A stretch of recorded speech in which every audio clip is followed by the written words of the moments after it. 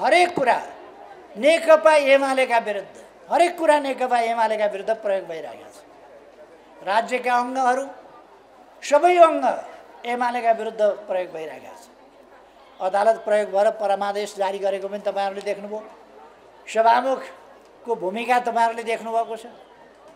तमासा भइराखेको छ। सभामुखको तर्फबाट नियम कानुन भन्ने कुरा त्यो त कुनै मतलबै छैन। स्वेच्छाचारिता मन परितन्त्र कसैको कुनै पार्टीका कुनै नेताले व्यक्तिगत तवरमा निष्कासन गरेको ल्याएर सूचना जारी गर्ने कसैको केन्द्रीय कमिटीले निर्णय गरेको पार्टी फुटाएर हिँड्ने पार्टीको सरकार ढाल्ने प्रतिक्रियावादीहरूलाई फाइदा पुर्याउने पार्टी विभाजन गर्ने दुई तिहाईको आसपासमा पुगेको वामपन्थी आन्दोलनलाई चकनाचुर पारेर दक्षिणपन्थीहरूका पाउ मल्न जानेहरूलाई निकालेको पनि सदर हुन नसक्ने यस्ता खालका कुराहरू गरेर सभामुख बसिरहेको मलाई थाहा छैन मैले एउटा सञ्चार माध्यममा हेरेको थिएँ। निर्वाचन आयोगले मतपत्रका चिन्हहरूमा हरियो राख्ने भयो अरे। हरियो चिन्ह किन राख्ने? के कारणले राख्ने निर्वाचन आयोगले बताउनु पऱ्यो हो कि होइन मैले निर्वाचन आयोगसँग सोध्न भ्याएको छैन म अत्यन्तै व्यस्त भइराखेको छु। उहाँहरूसँग सोध्नुला बुझ्नुला। यदि हो भने कुन हिसाबले राख्ने? यो धार्मिक हिसाबले राख्ने हो? के हिसाबले हरियो चिन्ह राख्ने? अथवा कसैको हरियो देखिने चिन्ह छ कसैको त्यसकारण राख्ने के का लागि राख्ने? सबैतिर जनताले आँखा नदेख्ने कमजोर आँखा हुनेले रुखै रुख देखोस् भनेर हरियो राख्ने हो। कि किन हरियो राख्ने? यदि हो हरियो राख्ने निर्णय गरेको भने होइन भने त्यो सञ्चार माध्यमले आफ्नो त्रुटि सच्याउनुपर्छ। यदि निर्वाचन आयोगले नै त्यो गरेको हो भने निर्वाचन आयोगले त्यस्तो त्रुटि सच्याउनुपर्छ। हरियो सरियो हुँदैन। अब कहिले अदालत हाम्रा विरुद्ध? कहिले निर्वाचन आयोग हाम्रा विरुद्ध? कहिले सभामुख हाम्रा विरुद्ध? कहिले अर्को हाम्रा विरुद्ध? के हो यस्तो? संसद हाम्रा विरुद्ध प्रयोग गरिने? सरकार त हाम्रा विरुद्ध छँदैछ। हामीलाई ढालेर बनेको सरकार हो त्यो। परमादेशबाट बनेको सरकार हो। मुद्दा जितेर ल्याएको सरकार। चुनावबाट पो सरकार बन्छ त। मेयर अब मुद्दा जितेर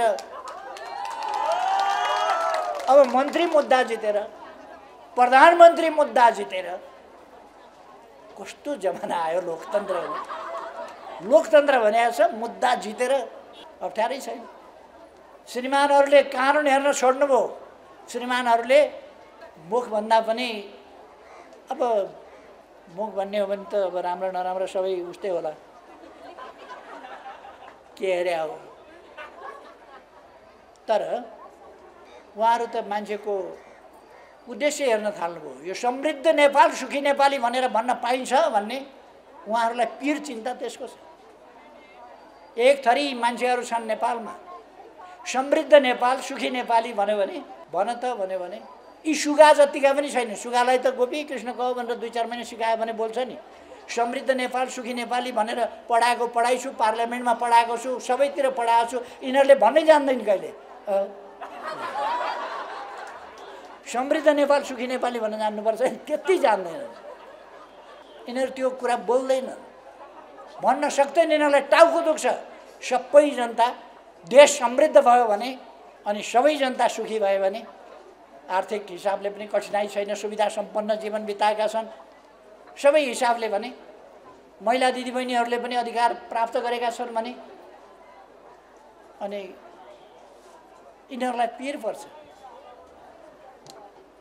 त्यसर्थ यिनीहरूले सामाजिक न्याय समानताका कुराहरू पचाउन सक्दैन सबभन्दा ठुलो समस्या त्यहाँ हो त्यसकारण समृद्ध नेपाल सुखी नेपालीसँग यिनीहरूको चिड छ जनमत हामीसँग छ त्यो जनमत अझ व्यापक बनाउने सुदृढ बनाउने कसैले केही गर्न नसकोस् भन्ने गरी सुदृढ बनाउने त्यो काम हामीले गर्नुपर्दछ। म दिदीबहिनीहरूलाई आग्रह गर्न चाहन्छु यस काममा देशव्यापी रूपमा तपाईँहरूको सङ्गठित सक्रिय प्रयास अगाडि बढोस्।